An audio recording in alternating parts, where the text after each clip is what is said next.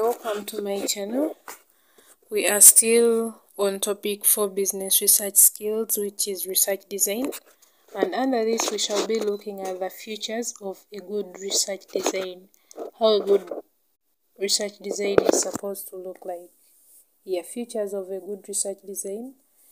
A good research design is often characterized by the level of flexibility. Flexibility is something that can be adjusted yeah, in case of any changes.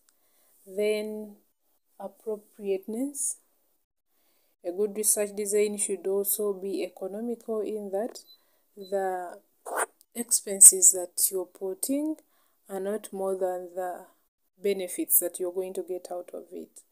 Yeah, so it should be economical. Then a good research design should minimize bias and maximize reliability of the data collected. Like a good research design should should not be based on someone's opinion, but it should be based on the data that is collected.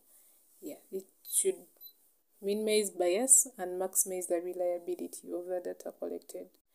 It should give least errors and yield maximum information and provide an opportunity for considering many different aspects of the problem.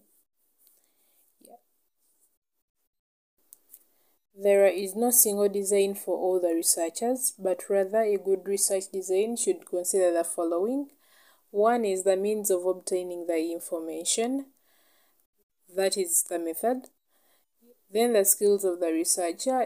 We said a good researcher must be educated like to some extent then objectives of the study nature of the problem to be studied and lastly the time and resources available to the researcher should be considered when making a research design yeah so that was all about topic 4 business research skills which is research design Thanks for watching. Don't forget to subscribe, like, comment, share with your friends. Yeah, and let's meet in my next video when we are discussing the next topic.